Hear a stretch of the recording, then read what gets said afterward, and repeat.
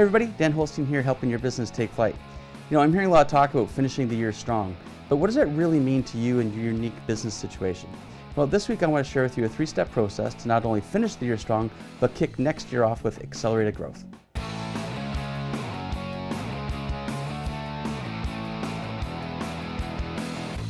Okay, so we're talking about finishing up the year strong and starting next year off with, with acceleration.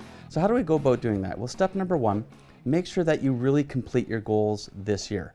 December is a pretty full month. Like it's, I know there's the, the holidays and we lose a week kind of thing, but there's still a lot of time to execute. But sometimes we, I think we, we think, oh, it's going to be slow or people aren't going to want to buy or whatever the case might be. Everyone's distracted.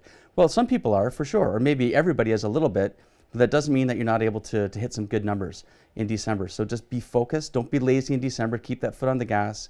And I recognize you might be a little bit tired, a little fatigued. It's been a long year. So plan something fun with the team to really celebrate everything that you've accomplished this year.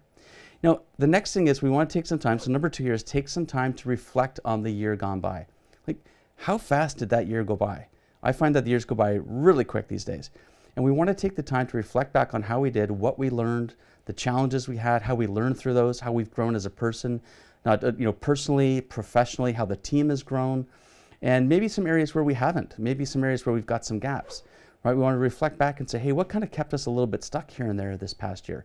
What do we need to do next year to shore that those areas up so that we can really accelerate? Now, the next thing we want to do is we want to do our, our next year planning, you know, in November, December uh, of this year. So be clear on what is that 2022 or whatever year it's going to look like when you see this. What does next year look like to you? Right? What are you going to look back on and say, gosh, I'm so excited we accomplished X this year. What is that X? What is that thing that you really are driving towards? Your, you know, your, your major rock, your major goal for the year. So we want to do that planning and thinking now, and then breaking it down into quarterly planning. So, you know, by if we're going to hit X target by one year in, where do we need to be by the end of Q1 of next year, right? And plan for that. What are the resources that we might need? Do we need to be recruiting and hiring for some people? Do we need to upgrade some system or install an ERP or what is it we need to do to be on track to hit those goals?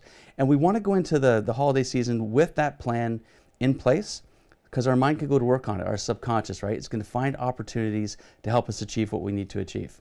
So again, three-step process. Number one, don't get lazy in December. Keep that foot on the gas take some time to reflect on the year gone by, get the learnings, right? Study your own history, get those learnings. And number three, do some planning for next year. This year, well, you've got time to work out the plan and organize yourself and set yourself up for success come January. If you need any help at all with your planning, feel free to reach out to me. I'm always happy to have a chat. And in the meantime, if uh, we're not already connected on LinkedIn, please connect with me, subscribe, and hit the notification bell if you're seeing this on YouTube. And I hope that you have a fantastic end of the year and a really great start to next year. Catch you soon.